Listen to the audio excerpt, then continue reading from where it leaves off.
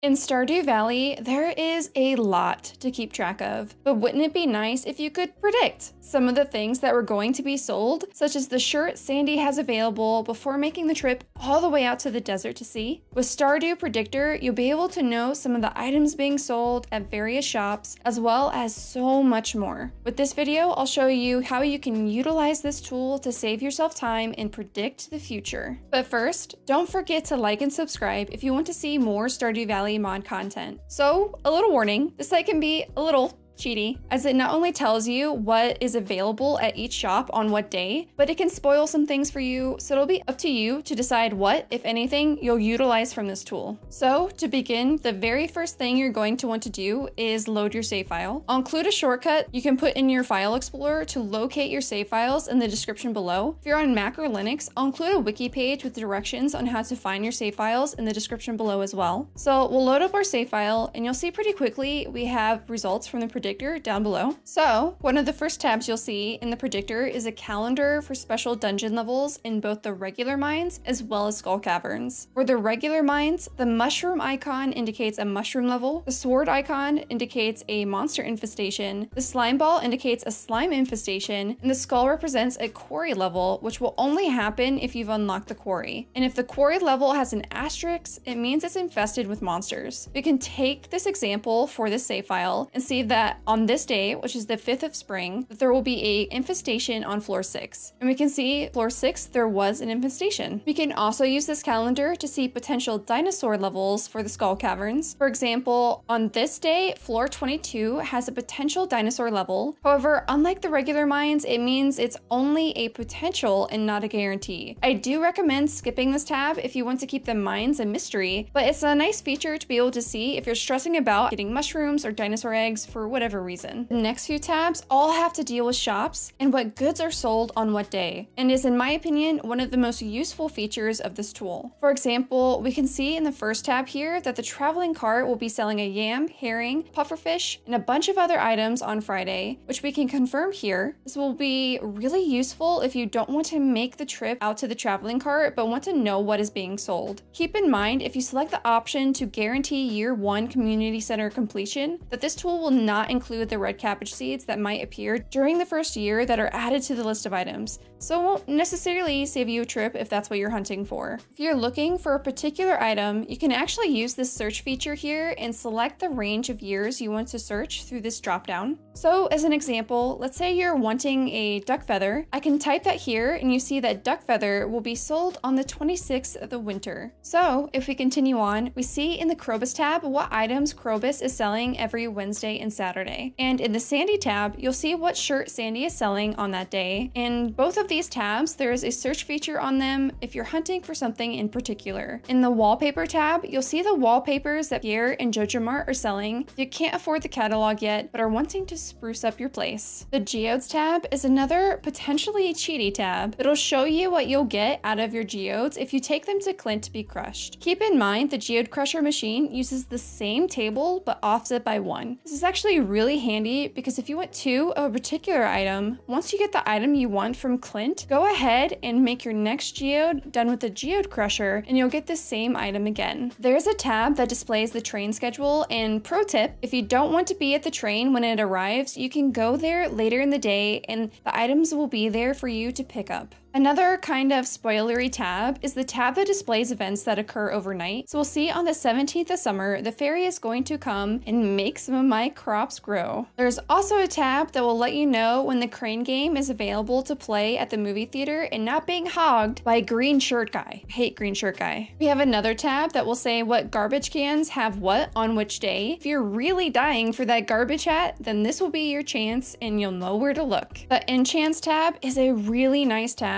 if you want to know what you'll get when you enchant at the forge. I actually recommend just not paying attention to what's written and instead hover your mouse over the ellipsis to get the full details. The mine chest tab will show you your rewards for reaching certain levels in the regular mines. And the gem birds tab can be used to show which type of gem birds will appear on each island location so that you can complete the jungle gem shrine puzzle before all the birds are encountered in game. And finally, the winter star tab will show you you what townsperson you are gifting to and receiving from for Festival of Winter Star. It can't show you which present you'll get, it'll show you your potential presents. We see here that I have George as my gifter, which means there's a small chance I can get the elusive tea set. So that's pretty much Stardew Predictor tool and everything it has to offer. I'll admit, some of the things it shows you are a bit too much of a cheat for me if I'm wanting to do a more formal playthrough, but if you're finding yourself stressed about getting a particular item or you want to know what enchantment you'll get at the forge, this tool is invaluable. Let me know in the comments below if you'll be using Stardew Predictor. I'm Yoria. If you want to see more Stardew Valley tools and mod spotlights, don't forget to subscribe. If you have any questions or you want to see some of my other spotlights, you can watch these videos here. Until we see each other again, take care.